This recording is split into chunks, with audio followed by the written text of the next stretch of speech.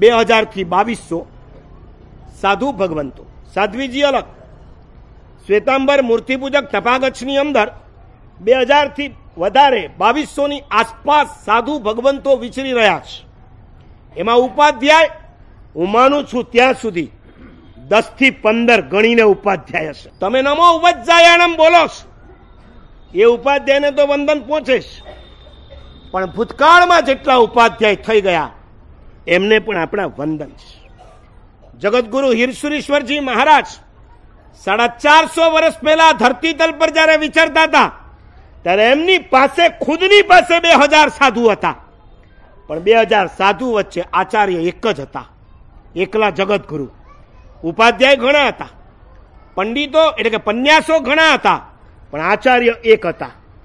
તો ઉપાધ્યાય વર્તમાન કાળમાં ગણીને દસથી પંદર હશે. એવા ઉપાધ્યાયની વિશેષતા શું છે? પૂજાની ઢાળમાં આપણે સાંભળીએ છીએ. તપ સજ્જાએ રત સદા, દ્વાદશ અંગનો ધ્યાતા રે ઉપાધ્યાય તે આત્મા, જગબંધવ જગ ભ્રાતા રે બહુ મજાની આ ગાથા છે. ઉપાધ્યાયની બે મુખ્ય વિશેષતા છે. નંબર એક, શક્તિ હોય એ મુજબ તેઓ તપ કરે. અને નંબર બે તેઓ સતત સ્વાધ્યાયની અંદર રમતા હોય છે. ગુજરાતીમાં ઉપાધ્યાયની વ્યાખ્યા લખીશ. આચાર્ય માટે તમને કાલે કીધું હતું, પાળે પણાવે પંચાચાર. અને ઉપાધ્યાય માટે, ભણે, ભણાવે, સાધુને.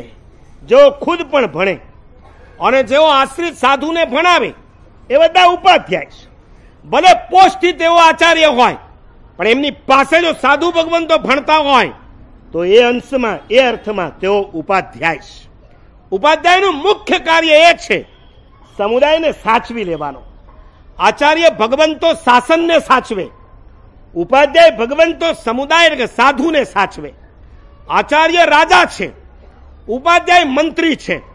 આચાર્ય વિદેશ પ્રધાન છે. અને ઉપાધ્યાય ગૃહ પ્રધાન છે. હોમ મિનિસ્ટર છે. એ સાધુઓને બરાબર સાચવે. એમની જરૂરિયાતો પૂરી કરે. એમને ભણવા, ભણાવવા દ્વારા મજબૂત કરે.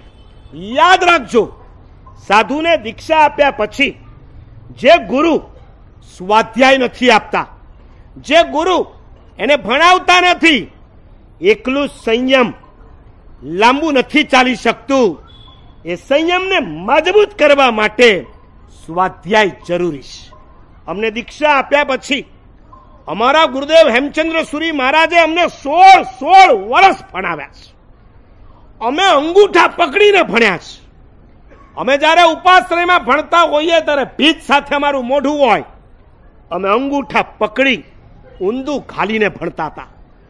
અમારા ઉપાશ્રયમાં તમે આવીને ચાલ્યા જાવ તો અમને ખબર ન પડે.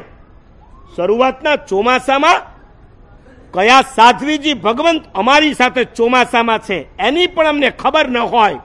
અમારા ગુરુદેવે એટલા અમને દૂર રાખ્યા. ભણો. આજે ભણશો તો આવતીકાલે કામ લાગશે. આજે તમારી સામે બેસીને અમે જે બોલી શકીએ ડ્યુ ટુ અવર ગુરુદેવ, આ ગુરુ જો ન મળ્યા હોત, તો કદાચ અમે આવો સ્વાધ્યાય ના કરી શક્યા હોત. અને જો સ્વાધ્યાય ન કરી શક્યા હોત, તો અમે તમારી સામે બોલી પણ ના શકતા હોત.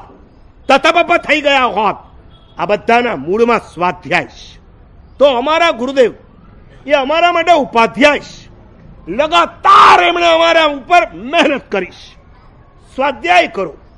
જે સાધુએ વ્રત લીધા પછી, એના હાથમાં જો પ્રત ન હોય, તો એ વ્રતને અતિચાર લાગ્યા વગર ના રહે.